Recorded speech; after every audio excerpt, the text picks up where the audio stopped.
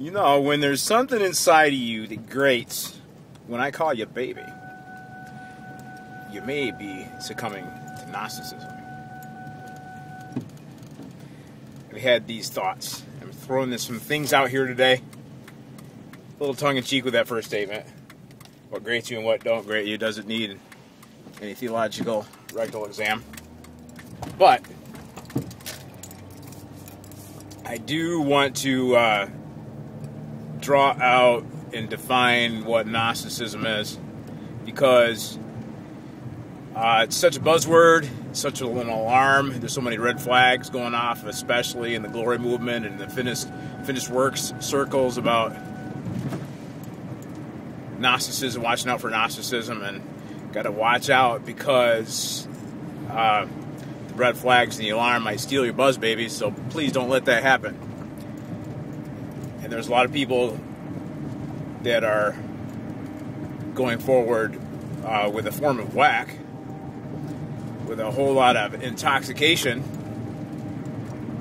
that are sounding to me like they're actually ascribing to Gnosticism and not to finished work. So I'm not sure exactly what they're drinking, but I do want to talk about what propels your mind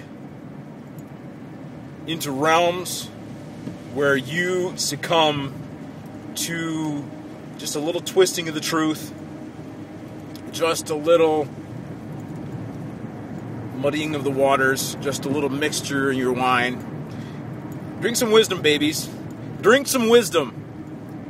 Wisdom has prepared her feast. She has killed her beasts. She has mingled her wine.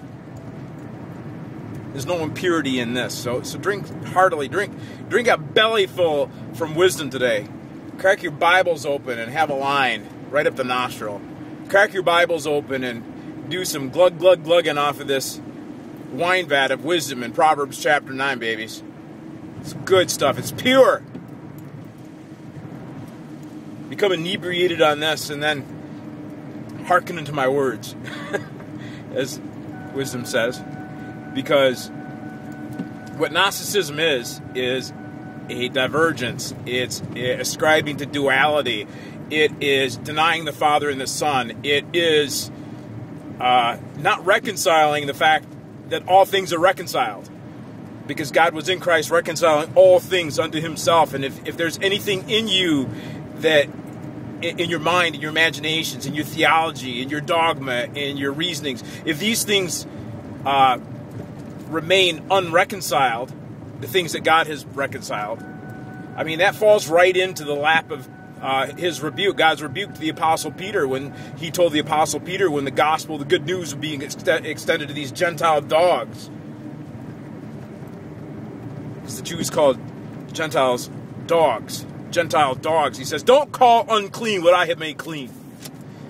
So, what Gentile dog, what woof and whack you got inside of you? You got a woof and whack inside of you that you haven't reconciled yet.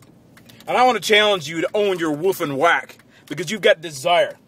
And you're human. All the gamut of your humanity has been swallowed up in Jesus Christ.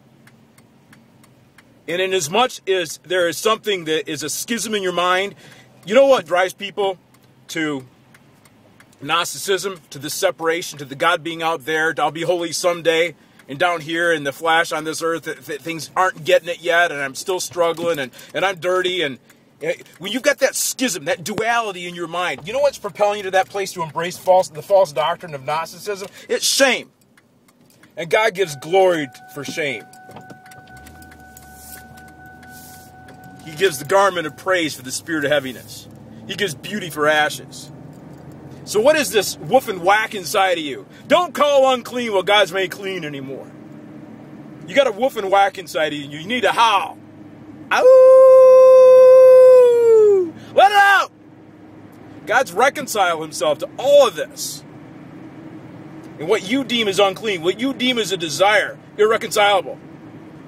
You don't know what you're desiring. You just stigmatize yourself and listen to the accuser for a little bit, hiding under condemnation like Adam hiding in the garden behind his fig leaf. God wants you to come out. Song of Solomon's coming to me suddenly, where it says, Who are you behind this cleft of the rock? Why are you hiding your face? Come out from behind that thing. I want to see you. Babies, come on. Come on out from come out from behind the cleft of that rock. I want to see you in all your fullness. Not that you be naked, not that you be exposed, not that you be subject to shame, but that you be further clothed. God doesn't want us to be exposed into nakedness and vulnerability. Although intimacy with Him is a state of absolute stark vulnerability, He's calling you to a place of utter vulnerability, to utter clothing, to be clothed with Him, to be clothed with the most abundant of comeliness. I mean, even these parts that the Apostle Paul talks about that lack honor, talking about the anatomy of the human body. And there's parts in the human body that lack honor. But he says, even unto these, what has God done? He's clothed it with the most abundant of comeliness. comeliness. So trust in Papa. Trust in the covering of Christ. Be clothed. Be further clothed. Come out from behind your shame and be clothed with the glory that you're destined for. I see it. Papa sees it. You've got glory, you've got beauty, each and every one of you. You've got treasures inside of you. And you've been deceived and deluded by this Gnostic lie that it's out there in the by and the by like pie in the sky someday. No, it's now. You're beautiful. Mwah! Receive it in Jesus' name. Come up from behind the deception. Come up from behind the fig leaf. Loose, loose, loose. You're wolf and whack.